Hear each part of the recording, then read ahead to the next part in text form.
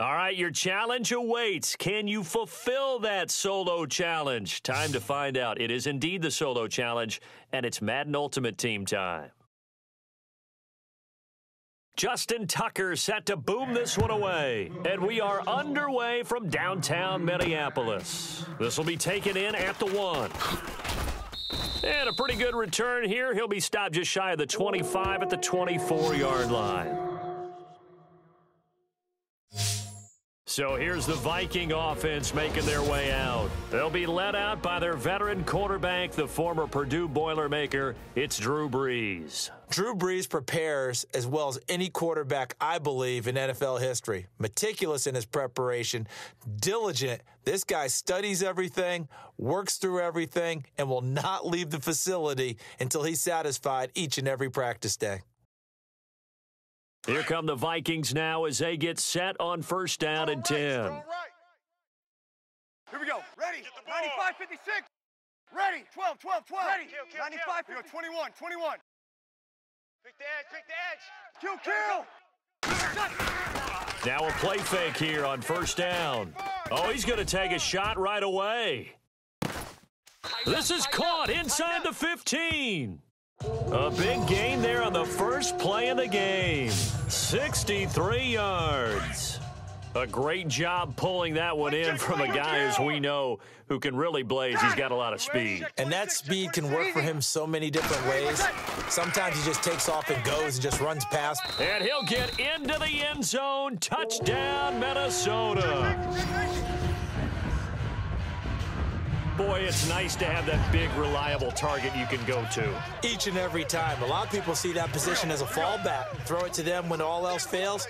Not at all. This guy can make plays, and that's exactly what he just did. Yeah, play here for a touchdown. Opposite, opposite, Kill, kill.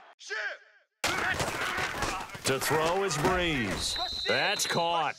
And it's very quickly 8 to nothing. Opening drive touchdown, opening drive touchdown, and two point conversion.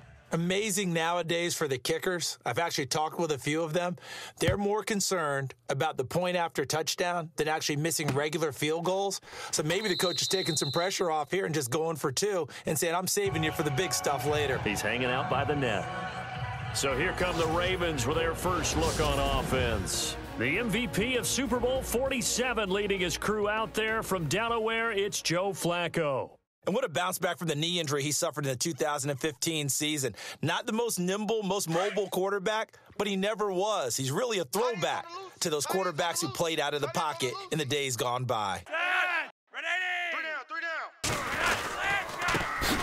Now a carry here for Terrance West. And this one goes nowhere. Losing yardage back at the 22. That'll set him back with a loss of three on the play. And it'll bring up a second and 13. They'll run again here with West. And he'll wind up losing yardage here back at the 21-yard line. They'll lose a yard, and it brings up third. Well, forget about finding a lane there. He barely had time to look up before he was planted in the backfield. Probably fortunate he was able to hold on to the football. Third and long for Joe Flacco. And this is going to be incomplete. I wonder, Brandon, I just wonder, you think maybe he was worried about where he was on the field? Was he far enough? Was he close enough to the first down sticks? Absolutely. He was right there by him, and I think he was thinking first down before he caught that football. Yeah, got to catch it first because if you don't catch it, there's no chance of picking up a first down. Returnable here from the 38. Look at the spin. Balance. They call that a punt of 38 yards officially. And the Vikings will take over here first and 10. The Vikings offense now, they get ready to head back on the field. And coming up on their second drive of the game, had the touchdown last time out. Now they have the football back. Chance to really seize early momentum. Feels to me like they had a really excellent week of practice. It all came together, but I'll bet you it got galvanized. In and at the seven-yard line, the catch is made. It's a big one there for the Vikings. 47 yards. Alert, alert. Three down, three They'll run it with Jackson. And he's going to get him about three yards closer. He's down to about the two. No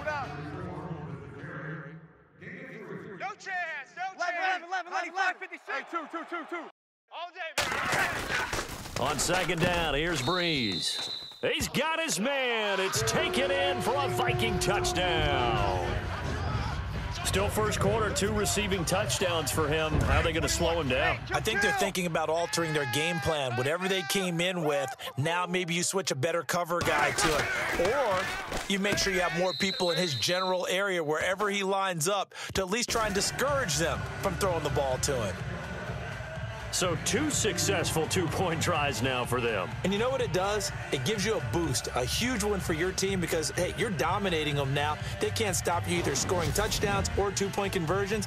But how about the defense? You don't know what to do at this stage. You can't stop them in any direction. Out is the kickoff unit as they run up and send this one away. This is taken about seven yards deep. And no run back here. This will be a touchback, and it comes out to the 25-yard line. And now Baltimore gets set to take the field. Already down two touchdowns here in the first half. This becomes a pretty important drive, doesn't it? It certainly does. And a lot of the teams script plays. We know that, right? They, they have a script to start the ball game. And typically those scripts go between 12 and 24, 25 plays. Down two touchdowns early, probably not very deep into their script. I think that they'll stay with it. I don't think they'll abandon it just yet and try and generate some offense on this drive. Anything. At least three points get that zero off the board.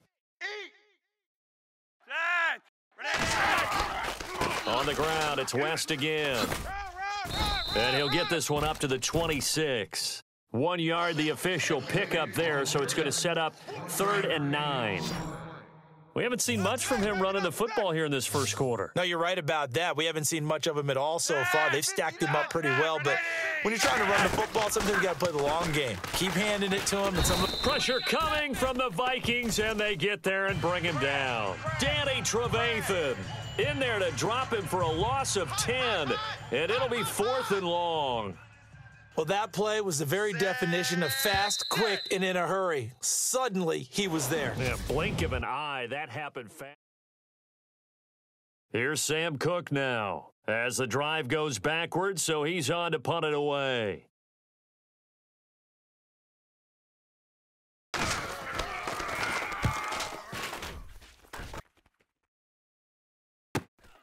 Taking it about the 36. Fighting through, and he's got space. Nice job bringing that one back. 14 on the return. And possession will switch hands first and 10.